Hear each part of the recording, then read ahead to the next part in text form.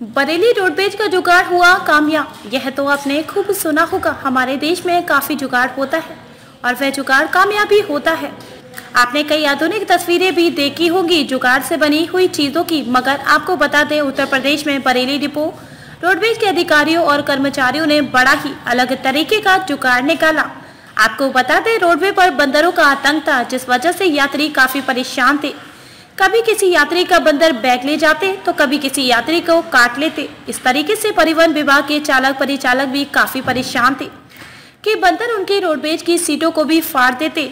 ऐसा देखते देखते काफ़ी समय हो गया तो बरेली रोडवेज़ के लोगों को एक जुगाड़ समझ आया और लगा दिया लंगूरी बंदर का फ़ोटो, जो कि हुआ हो असली लंगूरी बंदर की तरह दिख रहा था, जिसे देखकर बाकी बंदर भाग जाए। इसलिए लंगूरी बंदर का फ़ोटो लगा दिया रोडवेज़ कर्मचारी की माने तो जब से लंगूरी बंदर का फ़ोटो लगा है, वाकई बाकी बंदर ने आना बंद कर दिया।